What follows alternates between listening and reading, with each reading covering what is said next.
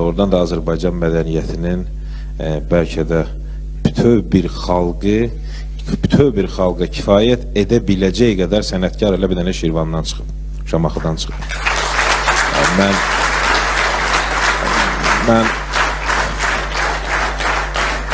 Azər Azərbaycan mədəniyyətinin tarixində danışanda həmişə bu məsələni qeyd edirəm. Belə yarı zarafat, yarı gerçək, amma gerçəkdir əslində. Deyirəm dünyada ə, o qədər xalqlar var ki, onların bütün sənətkarlarını bir yerə yığsaq, Şamaxının bu başından o birisi başına qədər büstləri düzülmüş şairlərin, sənətkarların sayı qədər olmayacaq. Bu doğrudan da fəxr ediləsi bir şeydir. Elə Azərbaycanın başqa bölgələrindəki sənətkarlarımızı da bir yerə yığsaq, bizim bütün mədəniyyətin əzəməti, elmin, mədəniyyətin, başqa sahələrin əzəməti göz qabağında olar. Və burada Şamaxının sənətkarları qeyd olundu min illər ərzində. Mən bir şəxsində mütləq adını çəkmək istəyirəm ki, biz bilirik 19-cu əsrdə Azərbaycanın bütün yerlərində gözəl məclislər təşkil olunurdu. Musiqiçilər, şairlər yığışırdı, şeirlərini oxuyurdular və Şamaxıda da Mahmud ağanın məclisləri xüsusi bir gözəllik kəsb edib Azərbaycanın hər tərəfinə şöhrəti yayılıb ki, və Şamaxının bugünkü sənətinin, ədəbiyyatının, musiqisinin inkişafı məncə həmin 19-cu əsrdə Mahmud ağanın məclislərinə, yəni çox borcludur. Onun çox təsiri olub.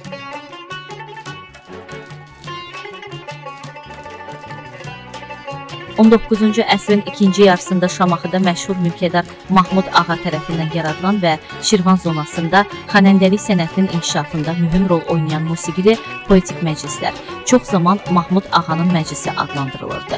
Mahmud Ağa bütün Qafqazda tanınmış musiqi xadimi, sənəti şeiri, musiqini sevən əliaçıq, qonaqpərvər bir mesenat incəsənət nümayişçisi idi. O, musiqiçilərin qayğısına qalır, onlara maddi köməyini əsirgəmirdi. O dövrdə Qafqazın bütün məşhur xanəndə və tarzənləri Mahmud Ağanın məclisində iştirak edirdilər. Şamaxı şəhərinin abadlaşdırılmasında onun müstəsna xidmətləri olmuşdu. Bu dövrdə Şamaxıda Seyid Əzim Şirvanin başçılıq etdiyi Beytü Səfa adlı ədəbi məclisdə fəaliyyət göstərirdi. Mahmud Ağa həmin məclisin üzvlərinə himayədarlıq edirdi. Seyid Əzim Şirvani ilə dostluq əlaqələri saxlayırdı. Özü də şeiri, musiqini çox sevirdi, gözəl tar çalır və muğamları pəstən oxuyurdu. O, öz malikanəsində musiqili gecələr keçirmək üçün düzəltdirdiyi xüsusi salonda tez-tez xanəndələri müsabiqəsini keçirir. Birinci yerləri tutanlara qiymətli hədiyyələr və mükafatlar verirdi. Mahmud Ağanın musiqi məclisinin sədası nəinki bütün Qafqazda, hətta onun sərhədlərindən çox-çox uzaqlarda belə yayılmışdı.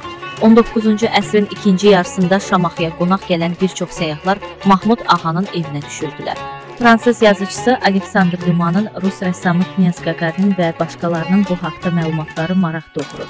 Mahmud Ağanın musiqi məclislərində yerli musiqiçilərlə birlikdə Tiflis, Qarabağ, İran musiqiçiləri də çıxış edirdilər. Hacı Hüsü Məşədi isə Bülbülcan, Ərdəbili Səttar, Sadıqcan, Cabbar Qaryaqlıoğlu kimi dövrünün məşhur xanəndələri Mahmud Ağanın qonağı olub. Onun təşkil etdiyi musiqi məclislərində iştirak etmişlər. Bir çox tarixi sənədlərdən məlumdur ki, bu sənətkarlar içərisində Mahmud Axanın ən çox hörmət bəslədiyi və tez-tez Şamaxıya dəvət etdiyi xanəndə Hacı Hüsü və Tarzən Sadıqcan olmuşdu. Mahmud Ağa öz məclislərinə gənc musiqiçiləri də dəvət edib onlara klassik şərq musiqisindən təlim verərmiş. Onun məclisi bütün Zaqafqaziyada musiqiçilər üçün bir növ sənətkarlıq məktəbi idi. Burada ifaçılıq təlimi alan və çalğısı bəyənilən hər bir musiqiçi təqdir olunardı.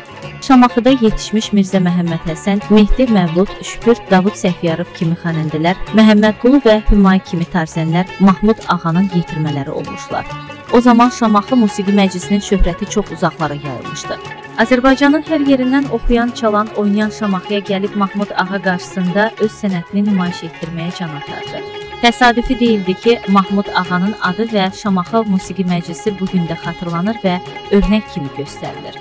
Videonun daha çox kütləyə çatması üçün kanalımıza abunə olub, videonu bəyənib və paylaşmağı unutmayın.